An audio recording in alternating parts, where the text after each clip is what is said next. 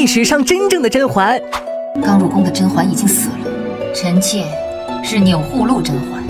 历史上的甄嬛真的如此霸气吗？熹贵妃钮祜禄氏，史书上并没有留下她的真实名字，所以根本没有什么婉婉泪亲。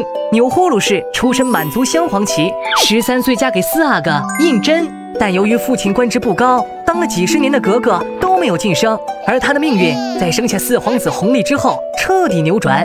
康熙帝特别偏爱这个聪明的小孙儿，儿子这么有福气，当妈的一定不差。得到上级肯定的钮祜禄氏。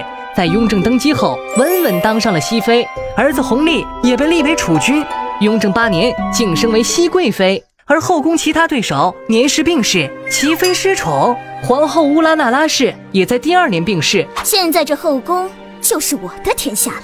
等到儿子乾隆继位，贵妃变成皇太后，孝顺的乾隆为母亲修建寿康宫，一起下江南去木兰围猎，生日 party 大办特办。幸福晚年，直到八十六岁寿终正寝，所以宫斗什么的根本没必要，生个好儿子就够了。